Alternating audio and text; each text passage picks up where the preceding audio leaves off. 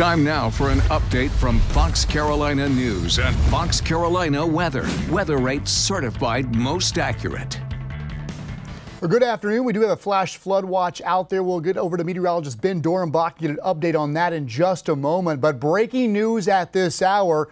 We're going to go to our Facebook page Fox Carolina News, where that is Sheriff Hobart Lewis announcing one arrest in the mass shooting inside Lavish Lounge on Sunday morning. That is where rapper Fujiano had just taken the stage at 1 a.m. 46 minutes later, shots rang out from the stage. 10 people were shot. Two of the victims died. And again, just moments ago, Sheriff Hobart Lewis announcing an arrest has been made. In fact, he says it's the man you see on stage that's been shared all over social media and here on our newscast.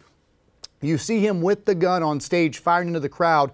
That's the one suspect who's been arrested in Georgia. He is cooperating, but there are still several persons of interest. We have those all right here at foxcarolina.com, and we'll have those this evening as well. And we'll have much more on what the sheriff is saying, but you can watch this on our Fox Carolina News Facebook page in its entirety. There's video from the body camera footage of the responding deputy clearing the club. Then there's also footage from inside the club they shared this afternoon in this news conference.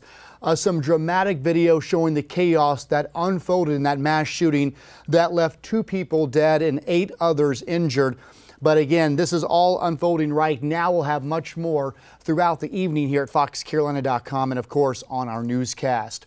Also this afternoon, DHEC releasing new numbers from COVID-19 cases, and now there are 934 new cases as of this afternoon, so down from what we've seen in the last couple of days.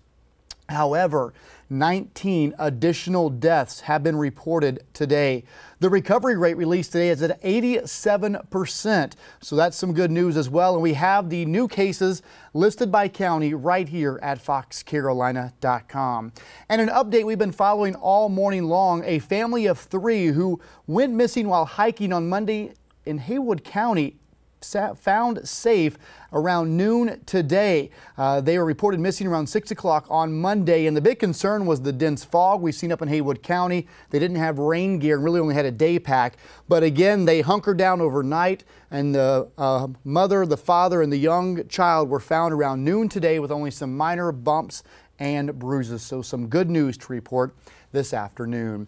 Let's go over to meteorologist Ben Dorenbach. And Ben, we see that watch behind you. What are we looking at heading into this evening as far as the forecast? Luckily, things have been behaving pretty well. Honest to goodness, I wouldn't be surprised to see this get canceled early, but the fact remains that it is in effect until midnight tonight for our southernmost counties, Elbert, Abbeville, Greenwood, Laurens, and Newberry counties till midnight. Flash flood watch for you. Uh, we've got an area of low pressure pretty much centered right over the area as we record this just after 3 o'clock this Tuesday afternoon. Once that continues to move northeast, we're going to have spotty showers for the rest of the night and a decent chunk of your Wednesday, but things should eventually dry up a little bit more by the end of the week. I have continuing coverage tonight on the 4 and 5 o'clock news, also 10 and 11, Fox Carolina News app, and all of our social media platforms. Stay safe. Have a good one.